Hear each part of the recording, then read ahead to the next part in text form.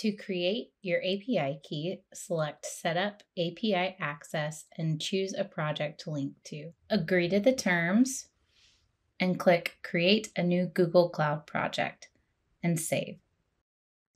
Once the page loads, scroll down and click the text that says Learn how to create service accounts. In this new window, click the Google Cloud Platform text. Once this page loads, you'll be asked to accept some terms. Accept those terms by checking the box and clicking Agree and Continue. Next, click plus Create Service Account.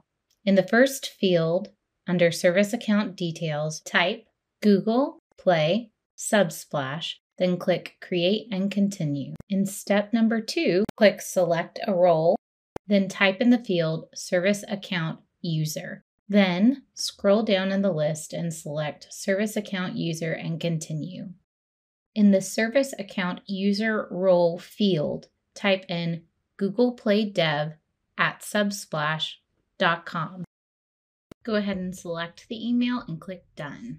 To the right hand side, under Actions, click the three dots and select Manage Keys. Now click the Add Key button and create new key. Make sure JSON is selected and click Create. This will download a small file to your computer. You'll need that later.